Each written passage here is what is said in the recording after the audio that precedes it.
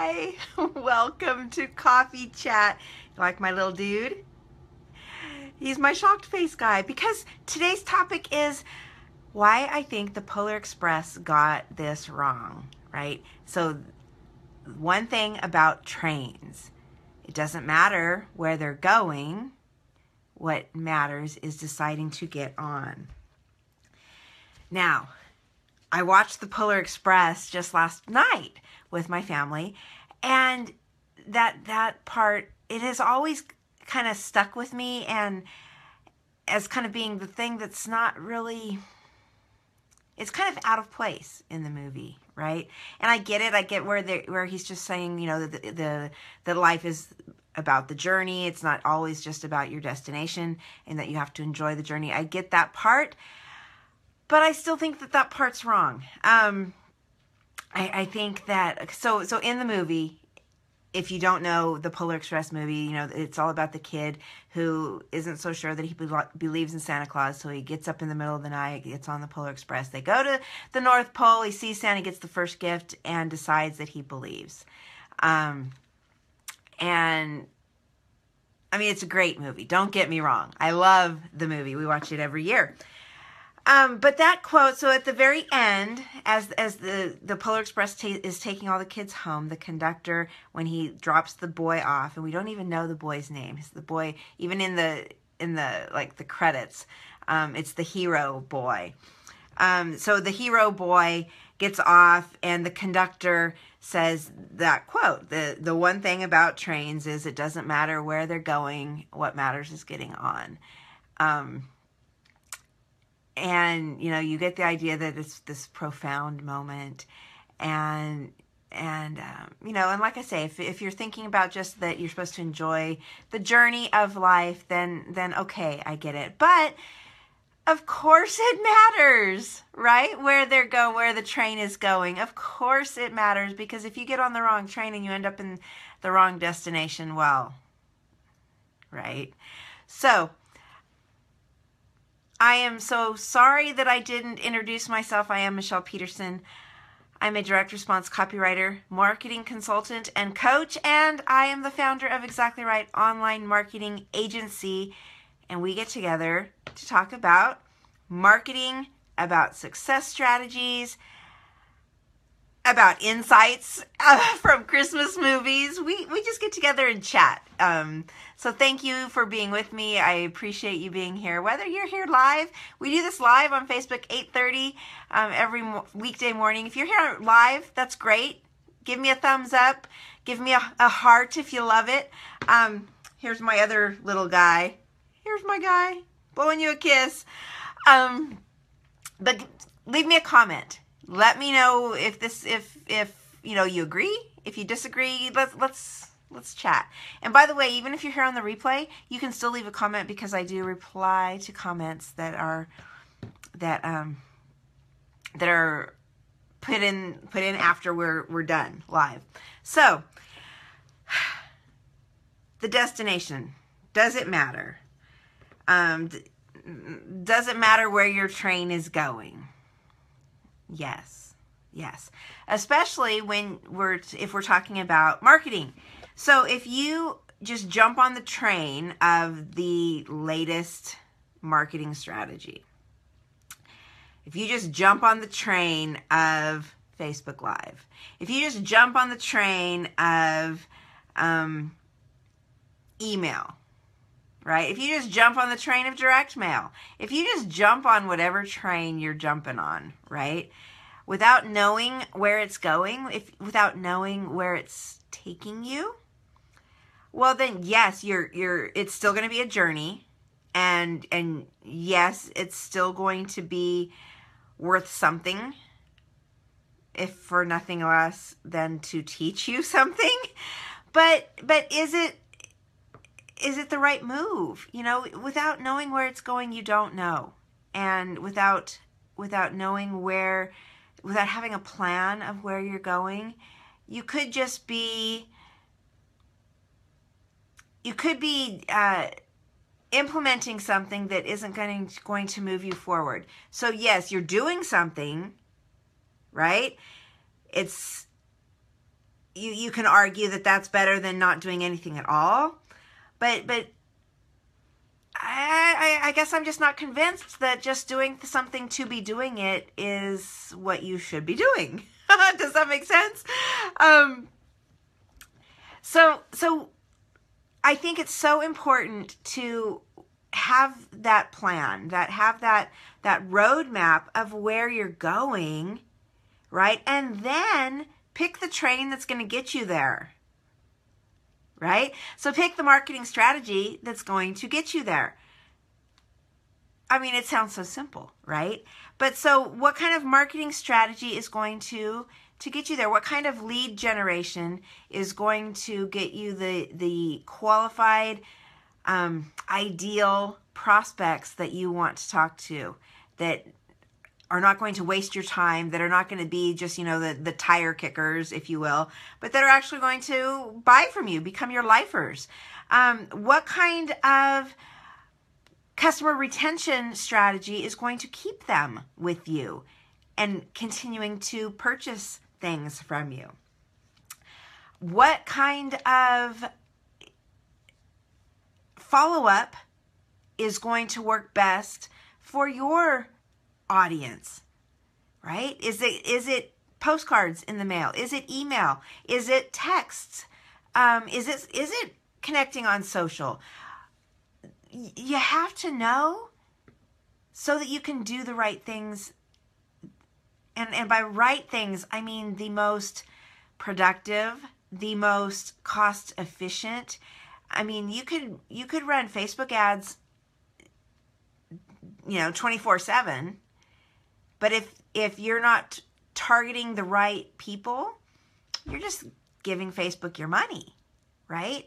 Um, and will you get a will you have some success? Yeah, you probably will.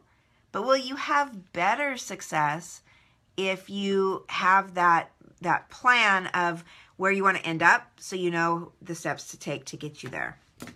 Um, yes, of course, you're going to have better success when you have your roadmap, when you have your plan. So now is is the best time to plan for next year. We still have, what is this? We still have a couple of weeks left of 2016. And now's the very best time so that you can hit the ground running in 2017 and and really move forward with your stuff. Now, if you didn't plan for 2016. Did you still have some success? Yes, I'm sure you did. So I think sometimes people are a little hesitant to make the plans because they think, well, they, I think for two reasons. One, if they've never done it before, it's the case of, I've never done it before, so why do I need to, right? Um, the whole if it ain't broke it you know if it ain't broke don't fix it kind of thing. But here but think about this. It may not be broke but is it giving you the the the most that it can right? If your lack of planning isn't giving you the kind of results that you could be getting with a strategic plan in place right so so you have those two options i keep doing what i've been doing I could implement and plan and, and really boost my efforts, right? So I think that's part of why people are, are so resistant to planning. Another thing, I another reason I think people are reluctant to, to making that plan is they're, um, they're reluctant, to, reluctant to commit, right? So if I want X number of dollars of revenue and I know that these are the steps I need to get, to take to get there. But I'm I'm not really sure that it really is gonna work. Um so yes, while I want to be here and maybe it's not so much that they don't want to commit, it's that they're unsure. They don't know enough of that that it will work for them. So maybe that's that's really what it is not so much of a lack of commitment, but a lack of confidence in and, and a lack of knowledge in the in the strategy in in whatever it is that they they're potentially going to do. Um, and I think either one of those, I mean, I hate to say that anybody's feelings or, or thoughts are invalid, but I but I hope that you'll get past that because they're they're they're beliefs that are holding you back. I mean, quite frankly, they're holding you back. So if you really want to move your business forward, you have to plan. You have to have a marketing plan. And you have to then, now it doesn't have to be set in stone. Plans can change all the time. So let's take the, the train example again. You're here, you're at point A, you want to get to point B, you get on train P for Polar Express. You get on train P to take you there, right? Well, train P may have to take a detour, right? Maybe there's something in the on the tracks that makes for a detour. Well, that's great, right? Because you're you're still moving forward. Things are going to happen. You're going to have to take re- detours. Maybe you're going to have to transfer to a different train um, in order to get to your final destination. Um, and all that is good as long as you're continuing to move forward to that final destination that you want to get to. Um, it, it's it's all about yes, you do have to decide to get on. You do have to decide to get on the train. But you do have to also be strategic about where is that train taking you. So um, when when you're setting out to to to develop your marketing plan for the year, for the quarter, if that's better for you, for the for the for six months, however you're developing your marketing plan, do think about that, and then and then you know it's it, everything in marketing, guys, is a test anyway. It all is. Even something that's really proven that it's been working for you for years, you're still testing it. I hope because you still should be evaluating is it working? Is it is it getting you where you want to go? So so when you set your your plan in motion, when you start implementing the plan that you've developed, even then, it's still open to change because maybe it will need to change. Maybe when you try it, it just isn't working as you expect it to. It's not giving you the results you need.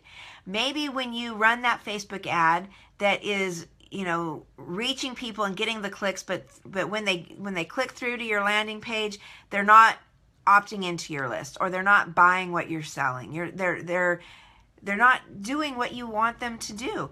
Well, then there's there's several things that could be wrong, you know, but so you need to go back and you need to tweak that Facebook ad. Maybe you're you're reaching the right, the wrong audience. Maybe it's it's a, a disconnect between the ad and the offer on the landing page. Whatever it may be, um, you have to go back and you have to then either transfer to a different train. You need to make a detour. You need to, you know, always evaluate if if that plan is still moving you towards your final destination. And and like I said, don't don't think that you're, you know, it's so set in stone that you're committed to it forever. Of course you're not, right? Um but you do have to you do have to get on, get on board, right? So, like I said, I think the Polar Express quote it, of course, it's not about marketing anyway, right? We marketing people, we we tend to, you know, uh, and we writers especially, we try to to find insights in in various different things and use those insights to, you know, illustrate our point. Oh, excuse me, I have a I have a post-it on me. Um, you know, so of course, the Polar Express was not about marketing. It is not a marketing lesson. It is more of a life lesson.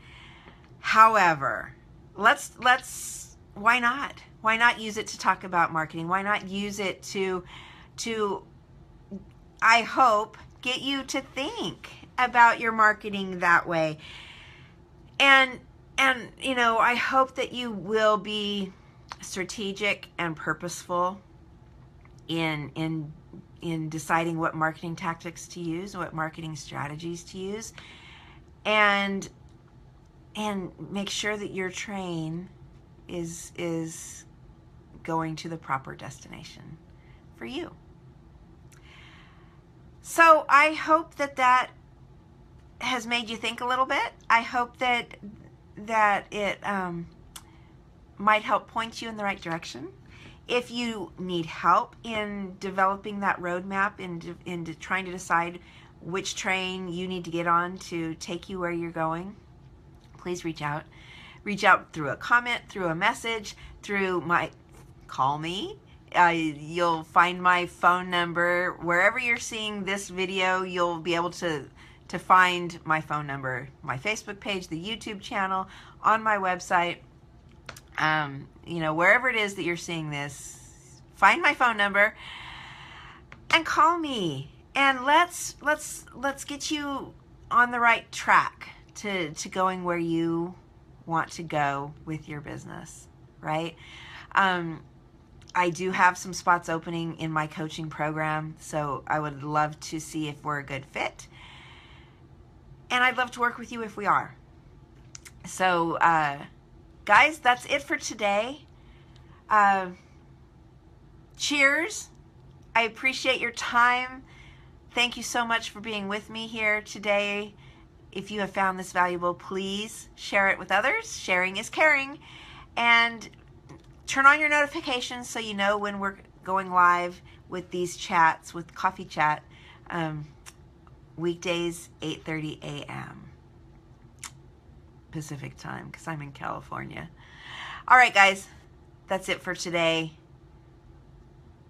Have a great day. And I will see you again. Oops. Let me get my little guy.